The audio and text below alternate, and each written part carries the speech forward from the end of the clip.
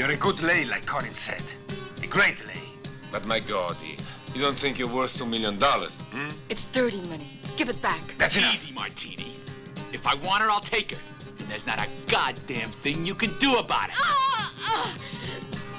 Keep driving. We don't need company. Hey, what if those bills are marked? You're getting used to it, yeah?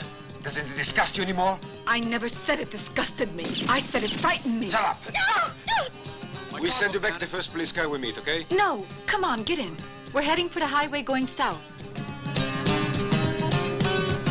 What's up, officer? Just routine. I'm an Italian journalist. My name is Mancini. Are you looking for someone?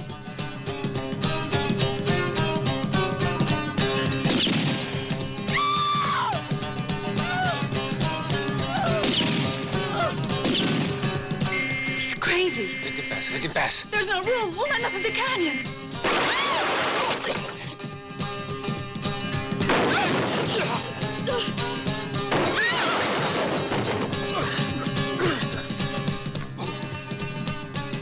Okay, Martini. Or whatever the hell you said your name was. The honeymoon's over. Well, what can I do against the one with the gun who was driving a white Pontiac? Good for you, Joker. I'm one of them. So now you know. You could have got us all killed. So what?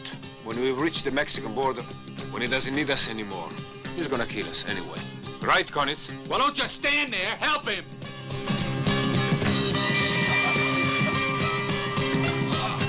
You're mad, Konitz. You're sick. I feel sorry for you.